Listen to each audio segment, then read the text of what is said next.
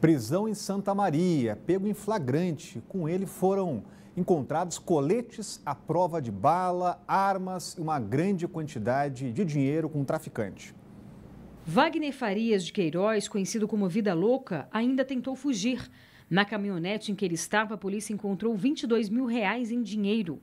No carro havia várias marcas de tiro no interior.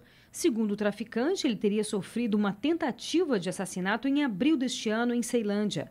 Ao revistar a casa e a distribuidora de bebidas, da qual Wagner é dono, a polícia encontrou ainda cinco armas, relógios, celulares e três coletes à prova de bala, sendo um deles de uso da Polícia Rodoviária Federal. Wagner já havia cumprido cinco anos de prisão por tráfico de drogas e estava agora em prisão domiciliar.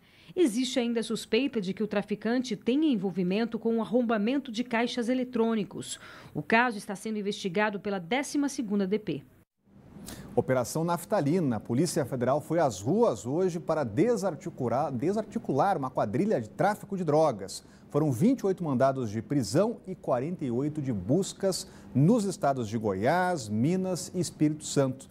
As investigações começaram em 2017 e logo revelaram que o grupo usava carros e pequenos caminhões para transportar a droga de um estado a outro. De lá para cá, cerca de duas toneladas de maconha e cocaína foram apreendidas. O nome naftalina é uma referência a um dos investigados, o velho conhecido da PF. Encerrou ontem o prazo para que todas as unidades básicas de saúde do DF trabalhem com prontuário eletrônico. Mas quem precisou de atendimento na manhã de hoje reclamou que a demora continua a mesma. Há menos de um mês, Rayane buscou atendimento em unidades básicas de saúde de Planaltina. Ela estava grávida pela terceira vez, mas ao chegar no local, foi relatado que o prontuário dela não estava disponível, mas sim arquivado, como se ela estivesse morta. Foi constrangedor, né? Porque saber que a gente morreu para eles e a gente está vivo tentando correr atrás de uma saúde e não tem. Eu fiquei abismada, porque chegar no hospital e procurar no arquivo, eu quero meu arquivo para levar para outro hospital. Aí não acha, aí manda no arquivo morto. Tá lá morto, então quer dizer, cadê o respeito pela gente? Situações como a da Rayane não devem mais se repetir.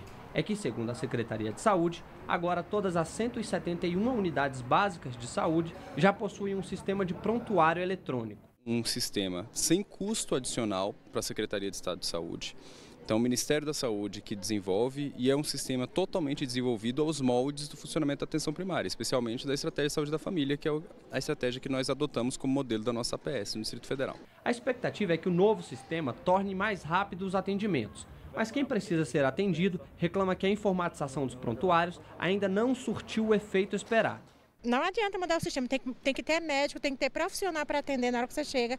É, essa já é a segunda vez que eu vim aqui, da outra vez eu vim com o senhor passando mal, chegou aí, eu fui barrada, eu tive que pegar um Uber e ir para o hospital de Ceilândia, porque eles não me atenderam, entendeu? Apesar disso, a secretaria ainda acredita que a população vai perceber a maior agilidade dos atendimentos. A gente começou a implementar o ESUS em julho de 2017.